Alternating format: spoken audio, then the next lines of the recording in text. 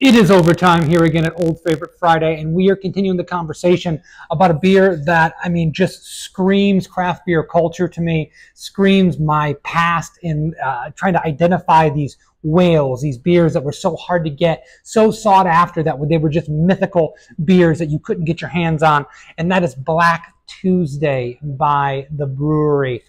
Uh, this is a beer that is a 19% bourbon barrel imperial stout. It was released for the first time uh, way back in 2009, to the best of my understanding. And very quickly, this beer became legendary in beer circles. Uh, I was not a trader myself, but I had a lot of friends of mine. I don't know if you guys know this, if you're not part of that culture, but trading beer was a huge thing uh, back in the day when the craft beer scene was really getting started. Still continues to be to this day, uh, where people would uh, beers that they were available to from their area of the country, they would trade to other people, and there was a whole community, a whole uh, commerce.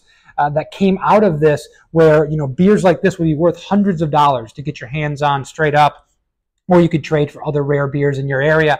Uh, back in the day, we were very lucky because we had uh, something like Cigar City and Hunahpu that we could trade all over the country, and my friends would get their hands on these. So I, I ran in circles of traders. I never really traded a lot myself, uh, but this was one of those beers that I couldn't wait to get my hands on the first time. This, along with stuff like Kate the Great, Dark Lord, uh, Black Ops by Brooklyn, uh, just to, to, name a few, but there was many, many other ones. But this was kind of in the big three for me. This is an Imperial style, as I said, in bourbon barrels. It's a massive beer at 19%. It is super rich. Uh, the one thing I will point out about this beer, in a culture that really seems to, especially in the uber beer nerd culture, that seems to so value adjuncts and really overly sweet, under attenuated imperial stouts. This, for 19%, and for the residual sugar it has, and it does have some, it's, it's not a bone dry beer by any stretch of the imagination, but it still is insanely drinkable uh, at this ABV and with this residual sugar in there. That means that the malts have balanced it out. Any hops they have in there have balanced out some of the sweetness. So it's not just cloying. Uh, a lot of those adjunct laden, uh, really under attenuated imperial stouts, I would never pour myself that much of a beer like that because I'd be kind of tired of it after one or two, one or two sips. Whereas this, I'm going back in, I'm getting actually a little acidity there. I'm getting uh, a little bit of roast bitterness as well, which is really, it's making sure that this is not a one note beer that is just hitting the same flavor over and over again. There's complexity, there's nuance here. And what kind of flavors are we talking about? That, that roast, that bitter chocolate flavor. I mean, dried figs, uh, like a kind of a creme brulee caramel kind of flavor, molasses, you know, all these layered flavors of dark fruit, roasted malts, and, and things of that nature really uh, make an incredible beer and a beer that I still think uh, holds up all this time later. I picked this bottle up. I was lucky enough. I was in uh, Tampa with my son for a baseball game. I popped into a Total Wine and More, and this was like one bottle sitting on the shelf. And I was so excited because I had, you know, always wanted this beer to be featured on Old Favorite Friday. I'd never had a chance to get my hands on that beer in, in many, many years. This is a 2023 version. Uh, for all those of you that don't know, you can age this beer. You can put this down in your cellar. You can age it three to five years, uh, no doubt. Uh, I know one of my partners, Bill McPhee, over here at Barrel of Monks, he probably has 700 bottles of this, uh, going back to before this beer was even brewed uh, for the first time somehow, because uh, he has you know vintage beers that he's put down for a long time.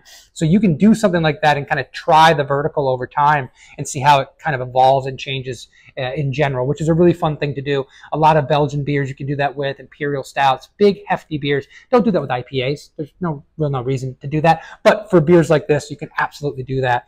Uh, this uh, the Bruery is a fantastic brewery uh, that's been around for a long time. Pioneers in the really kind of high end craft beer culture. You know, doing bottle conditioning, uh, doing beers in uh, really beautiful packaging that kind of heighten the level of how craft beer was perceived from being like that kind of uh, poor man's luxury to being a, a, kind of bottle that can be 50 60 dollars on a, on a on a beer list at a bar and people wouldn't bat an eye at. And that's really really important. I think that we should be respecting beers like this and not just this beer but many many other craft beers because uh, they are so good with food because they are like this that they're released once a year and in small quantities and they should really be respected and appreciated like you would a fine wine. And, and the Bruery has done as much to help the craft beer industry with that as anybody else. Uh, speaking of beer and food pairings with this, I mean, I'm thinking steak. I'd want to get a fattier cut of steak, something like a porterhouse, New York strip, and something I'd love to see with this to kind of lean into some of the roasty flavors. The roast isn't over the top here, but it's definitely there. I'd do like a coffee rub with a lot of black pepper, coffee, and possibly even some like some chipotle pepper, something with a little bit of spice because those mole kind of flavors go well with an imperial stout. I do, uh, do, a grilled steak with that kind of rub. I top it with a, some gorgonzola cheese, maybe bake that a little bit uh, to caramelize the top of that in the oven.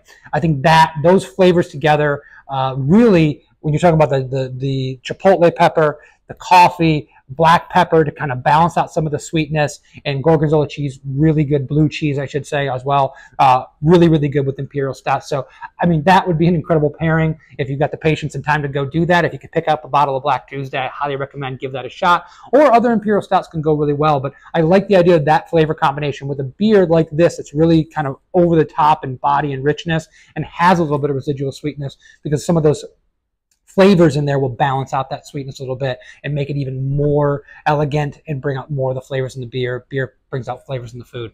Uh, thank you guys very much for sticking with me and uh, checking out Black Tuesday.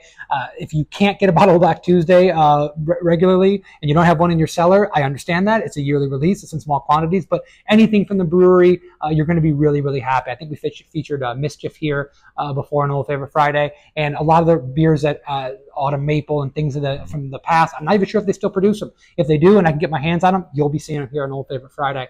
Uh, keep letting us know what we should be featuring uh, in coming weeks. Please keep poking around and seeing other videos where we talk about incredible classic beers, and we'll see you next time. Cheers.